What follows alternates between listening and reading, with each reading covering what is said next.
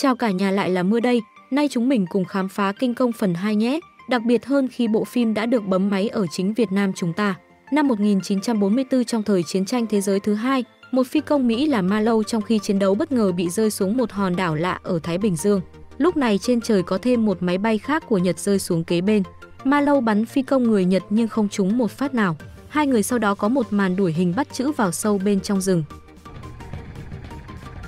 Ma lâu chạy tới đường cùng, anh Nhật bổn rút ra thanh kiếm muốn lút cán anh, Marlow tưởng chừng sắp lên đường thỉnh kinh. Anh dồn hết sức đấm vào mặt Nhật Bản cun ngã sấp mặt, nhưng hắn hàng họ nhiều quá mang ra đâm như chơi game chém hoa quả. Trong lúc nguy hiểm đột nhiên có một bàn tay to ngang bàn tay Phật tổ trong Tây Du Ký, còn ai ngoài kinh công siêu to siêu khổng lồ, anh đã quay trở lại và điên dại hơn xưa. Bối cảnh bộ phim là Thế chiến thứ hai, khi mà công nghệ đã phát triển lên một tầm cao mới, người dân Mẽo nhận ra tội ác chiến tranh và đồng loạt biểu tình phản đối. Kinh công lúc này thì đang có pha dịch chuyển ngay sang Việt Nam tắm biển. Giáo sư Zanda vốn là một nhà nghiên cứu về các loài quái vật của Mẽo. Khi nghe tin chính phủ Mỹ sẽ rút hết quân đội khỏi Việt Nam, lập tức ông trình lên thượng nghị sĩ ảnh chụp vệ tinh. Họ thấy con quái vật siêu to khổng lồ phiên bản bà Tân Vlog đã xuất hiện. Họ quét được vị trí đó là Vịnh Hạ Long hay tên gọi khác là đảo Đầu Lâu. Cùng với đó là bằng chứng một chiếc tàu chiến Mỹ hầu như bị xé nát bét. Anh Cận giải thích, nếu người Mỹ không đến sớm để tìm ra nó thì rất có thể thông tin này sẽ rơi vào tay người Nga ngố. Rất nhanh thượng nghị sĩ đã quay xe chốt ngay ngày khai trương, ông ấy gửi một hạm đội hộ tống từ cảng Đà Nẵng đến Vịnh Hạ Long. Đây là căn cứ quân sự Mỹ duy nhất chưa kịp rút về nước, mà chỉ huy là đại tá chột một mắt trong biệt đội siêu anh hùng. Thời buổi kinh tế khó khăn các siêu anh hùng chăm quay phim quá. Một nơi khác giáo sư Zanda cũng đã đến quận Bình Tân. Trước khi cả đội bắt đầu khám phá tìm ra con quái vật, ông ấy nhanh nhẹn dẫn anh em ngắm cảnh Việt Nam. Dự là sau đó sẽ có một màn tẩm quất đầy dư vị Việt Nam, nhưng không ông ý đến với mục đích chính là tìm Loki. Cựu quân nhân đã sống đủ lâu ở Việt Nam như người bản địa, ông ấy nhờ anh ta dẫn lối tour Ninh Bình 3 ngày 2 đêm. Đầu tiên là họ định đến chùa Bái Đính tiếp theo di chuyển qua quan lạn tắm biển. Tiền mẽo quy sang tiền Việt thì ăn chơi không phải nghĩ. Loki liền lên ngay quả tour siêu rẻ siêu tiết kiệm cho anh đại úy. Binh lính tập kết ra bến cảng Bangkok.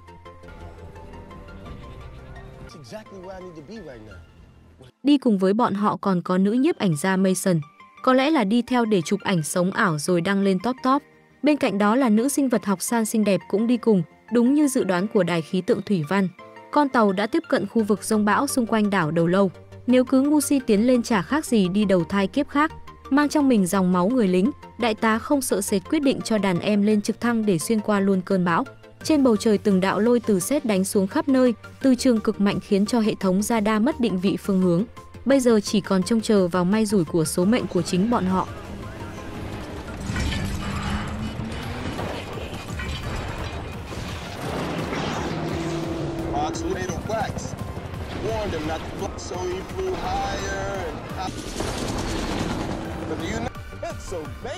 Không ngờ khi xuyên qua cơn bão lại là một vùng trời bình yên đến đáng sợ.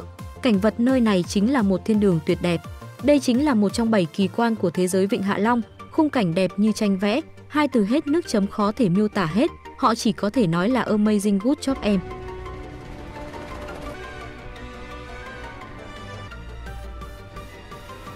Nhưng họ không biết rằng hoa càng đẹp càng có gai. Nhóm nhà khoa học đã hạ cánh trước một nơi gần đó. Mấy chú lính của đại tá da đen thì rảnh rỗi mang bom ra nghịch, may mà không có công an giao thông gần đó không thì ăn biên bản ngay và luôn. Trong khi đó, các nhà khoa học lấy máy ra đo tác động địa chấn. Từng quả bom cứ thế rơi xuống thảm sát vô số sinh linh nhỏ bé. Họ phát hiện ra địa chấn giữa hòn đảo là rỗng tuếch. Nhưng đột nhiên một cây cọ bay tới xiên thịt luôn chiếc trực thăng. Tiếp theo là một bàn tay siêu khổng lồ chụp lấy một chiếc khác. Đúng là những thanh niên nghịch ngu và cái kết đắng. Anh Công đã xuất hiện ngăn chặn quân lính tàn sát hàng vạn sinh vật nhỏ bé. Một anh lính không may rơi xuống đã trở thành món tráng miệng cho anh Công. Kinh Công cứ thế đứng sừng sững thể hiện bản lĩnh của một vị vua. Quả nhiên anh Công hơi có nét giống Tề Thiên Đại Thánh, mỗi tội thiếu mỗi cái gậy như ý. Mặt đại tá lúc này thì đần ra, kia là ai còn đây là đâu. Còn đám quân lính vẫn lạc quan mà xả đạn tới tấp vào người anh Công. Điều đó đã kích thích tính hiếu chiến bên trong kinh công, nó ngay lập tức phản công. Cây muốn lặng mà gió chẳng ngừng, cứ thế từng chiếc trực thăng bị đấm cho nổ banh xác. Đại tá hô hào mọi người tung ra những suất phê đạn, càng bắn khiến kinh công tức giận, Trần Quốc Toản thì bóp nát quả cam còn công thì dẫm nát bét người. Sau đó là một lộn nhào làm hai chiếc máy bay va vào nhau tự nổ. Trực thăng của đại tá cũng bị va đập rơi xuống bên dưới, bịt mắt bắt dê phiên bản khỉ bắt người. Một người lính bị ném va trúng trực thăng khiến nó mất thăng bằng. Cánh quạt hư hỏng kéo máy bay rơi xuống một cành cây to. May đại tá thoát nạn, nhưng chưa kịp cứu đàn em thì kinh công đã chụp chiếc trực thăng ném đi như thủ môn ném bóng. Pha ném trúng ngay máy bay khác khiến cả nổ cái bụt. Bay cao nào nhảy cao nào, nào cùng nhảy cùng kinh công, nó đập nát ngay một chiếc trực thăng mà không cần nghĩ. Đại tá đến khi cả đội quân nát bét mới hối hận thì đã muộn. Ông nhìn con khỉ chằm chằm như muốn dã nó lắm rồi. Kinh công cũng quay lại hỏi ông mày nhìn cái chóa gì. Sau cuộc thảm sát kinh công rời đi như vừa tập thể dục buổi sáng, quân lính đã bị phân tán khắp hòn đảo.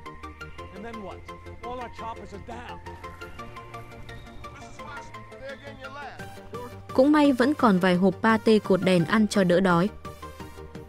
Ông đại tá nhặt lấy thẻ của những người lính đã hy sinh để tưởng niệm. Sau đó chĩa súng vào Zanda bắt hắn nói ra mục đích thật sự của chuyến đi. Hóa ra giáo sư đã lừa mọi người chỉ là một cuộc khảo sát địa chất. Thật ra ông ấy đã nghi ngờ là trên trái đất còn có những sinh vật cổ đại. Họ cố ý thả bom để dụ nó đến đây. Và con tàu đầu đầu phim bị con quái vật tấn công chính là con tàu mà ông đã ở trên đó. Và ông là người duy nhất sống sót. 30 năm qua ông ta không ngừng tìm kiếm con quái vật này. Phía khác nhóm của anh Loki đang tìm cách rời khỏi hòn đảo này.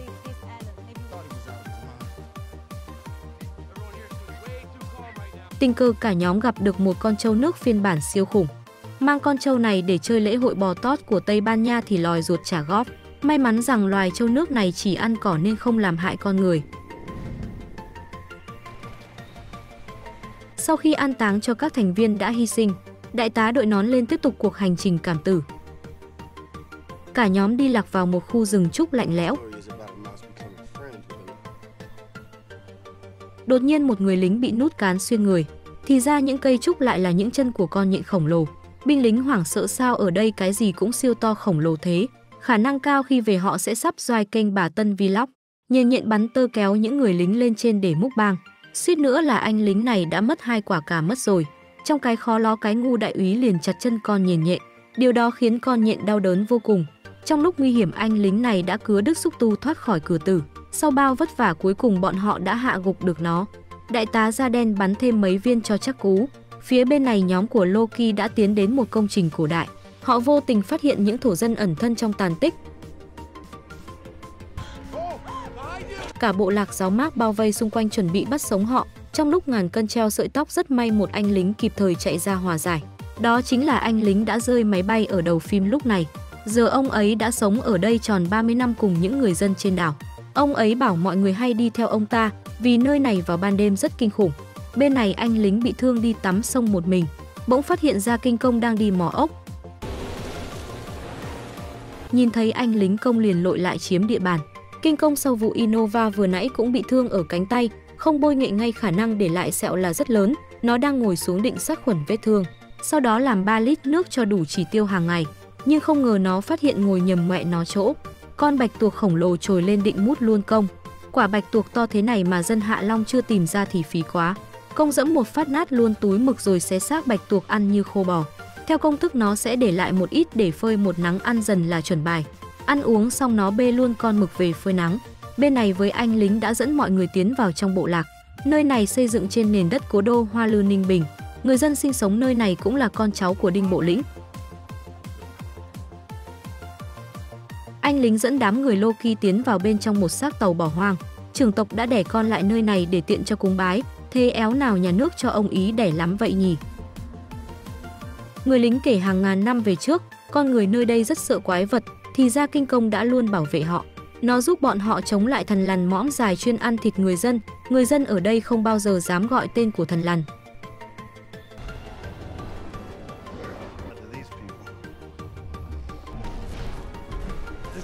Anh lính Nhật kia cũng đã bị nó múc bang. Bọn chúng đến từ những cái hố sâu thẳm dưới lòng đất. Một anh châu nước hiền lành cũng đã bị nó làm buffet cho cả đàn. Mà những con này chỉ là những con nhỏ trong bầy mà thôi. Vua của thần lằn vẫn đang ở dưới lòng đất, nó là kẻ đã tiêu diệt bố mẹ của công. Loki nói viện quân phía Bắc đang chờ để đưa bọn họ ra khỏi hòn đảo.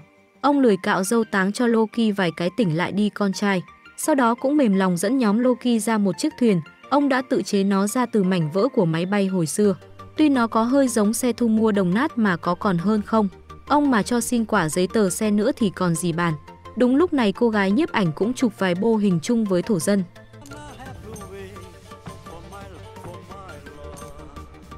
Nàng tò mò đi thử qua lỗ hổng của bức tường. Đây là bức tường đầy gai nhọn để ngăn lũ thần lằn tấn công người dân. Cô thấy một chú trâu nước đáng thương đang bị trực thăng đè lên. Cô nàng không biết lượng sức đòi đẩy máy bay cứu nó, việc gì khó có công no. Bất ngờ kinh công xuất hiện giải thoát cho chú châu tội nghiệp. Cô cảm nhận kinh công tuy mồm hỗn mà tâm thì tịnh, khả năng đã yêu công từ cái nhìn đầu tiên. Đại tá đi được một đoạn bắt gặp bàn tay của kinh công dính đầy máu trên vách núi. Ở nơi khác một anh lính đang cố liên lạc với đồng đội ngồi trên một gốc cây. Đột nhiên phát hiện cái gốc cây mọc chân đứng lên. Anh nhặt khẩu súng bắn loạn xạ nhưng quái vật không tấn công. Nó quay đầu đi chắc chê anh hơi gầy. Anh lính tưởng nó sợ mình bất quay đầu lại thì bị thần lằn mõm dài mút luôn cái đầu. Bên này nhóm Loki cố gắng chữa chiếc tàu, vì đó là cơ hội duy nhất thoát khỏi hòn đảo. Cả nhóm thành công sửa sang lại chiếc tàu đồng nát nhẹ nhàng rời đi. Ông lười cạo dâu tạm biệt những người bạn thổ dân lên đường về quê.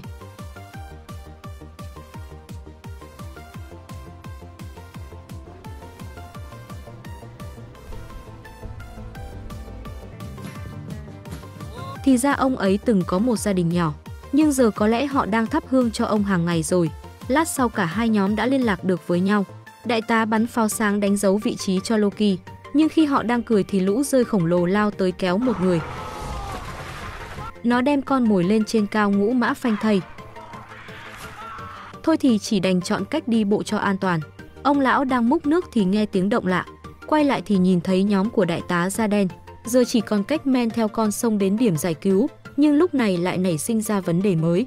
Đại tá lừa mọi người đi tìm trực thăng đã rơi để tìm một đồng đội. Ông lười cạo dâu nói hướng đó là lãnh địa của đám thần lằn mõm dài. Đại tá thầm nghĩ nơi nguy hiểm nhất là nơi an toàn nhất. Ông khá tự tin với khẩu súng của mình. Thực ra mục tiêu của ông là tiêu diệt kinh công trước khi rời đảo. Ông bất chấp rằng hướng đó là lãnh địa của quái vật thần lằn mõm dài. Chẳng mấy chốc nhóm người đã nhìn thấy hải cốt bố mẹ kinh công.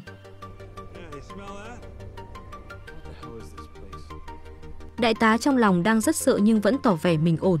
Ông ra lệnh cả nhóm phải băng qua cái đám xương sầu này.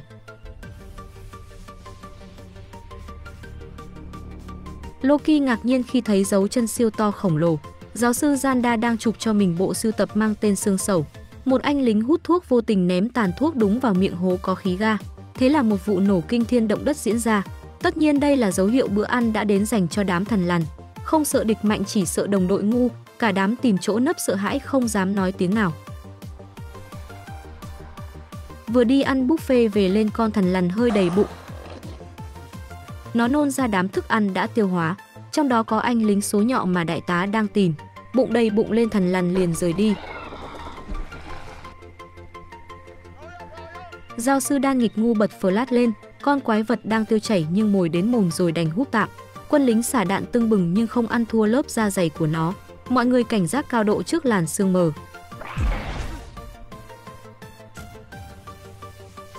Ông già lười cạo dâu vung kiếm nhật làm chảy một đường trên người nó. Con thần lằn húc bay anh lính bắn súng máy, sau đó đá lưỡi cái múc bang anh luôn. Sau đó nó nhìn thấy gái liền đuổi theo. Không ngờ rằng đến quái vật cũng bệnh hoạn như vậy. Đại tá ra lệnh dùng súng lửa thiêu đốt quái vật. Ngay lập tức nó biến thành thần lằn nướng mọi. Quái vật quăng đuôi đánh bay anh lính rơi vào một đầu lâu nổ tung. Đen thay là số lựu đạn khí độc cũng nằm phía bên anh ta. Khí độc màu xanh bay ra cũng là lúc đám rơi ăn thịt người tấn công. Con quái vật thế đếch nào còn ra lệnh được cả cho lũ rơi. Ông lão lười cạo dâu bèn ném thanh kiếm cho Loki. Anh một người một kiếm xông vào làn khói độc cứu lấy đồng đội. Anh chém nó như chém hoa quả. Chém quái vật mà cứ như là chém bùn nhẹ nhàng chém đôi mấy ẻm. Bên này quân lính đã dí thần lằn mõm dài vào trong vòng vây. Sau mọi nỗ lực cũng cứu được anh lính thoát thân nhưng con thần lằn đã đánh hơi được vị trí của Loki. Cô gái xuất hiện kịp lúc ném bật lửa về phía quái vật làm nổ mạnh hố ga. Họ thành công tiêu diệt em thần lằn mõm dài. Họ đang vui mừng thì ông già thông báo nó chỉ là con nhỏ trong đàn thôi, đen hơn nữa đây chính là hang ổ của bọn chúng. Đại tá lấy cớ là kiếm đồng đội, nhưng đã bị Loki vạch trần tất cả. Sau khi bị bóc phốt đại tá có vẻ tức giận, ông quyết định một mình đi tiêu diệt công trả thù cho đồng đội đã hy sinh, ông ra lệnh cấp dưới bằng mọi giá phải theo mình. Cả nhóm liền chia làm hai hướng khác nhau. Cuối cùng đại tá cũng đã tiếp cận được chiếc trực thăng chứa đống vũ khí hiện đại. Buổi tối ông thử nghiệm đổ dầu xuống đốt trên mặt nước. Còn bên này Loki cùng cô gái xinh đẹp đang đi dò thám, không biết vô tình hay cố ý mà lại đúng chỗ kinh công đang ở đây. Công nhìn hung dữ thế thôi mà thấy gái lại tỏ vẻ hiền lành.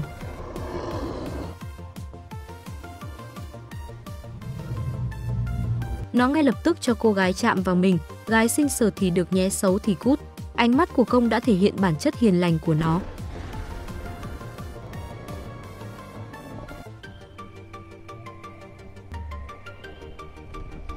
Bất ngờ bên dưới đại tá cho đàn em phóng hỏa đốt hết khu rừng, mục đích để dẫn dụ kinh công ra rồi tiêu diệt nó. Đúng như dự tính kinh công đã lao ra để bảo vệ hòn đảo. Chúa tể rừng xanh đấm ngực dẫm chân lao đến chiến đấu. Tên đại tá ném đuốc khiến cả vùng nước bốc cháy, thì ra lão ta đã đổ hết xăng xuống mặt hồ. Kinh công đau đớn vùng vẫy trong đám lửa tuyệt vọng. Nó cố chống trả nhưng có vẻ không ăn thua. Kinh công ra sức ném đống lửa về phía những tên lính. Sau đó la hét thảm một tiếng rồi đổ gục xuống. Đại tá vô cùng hả hê sai đàn em đặt mìn xung quanh kinh công.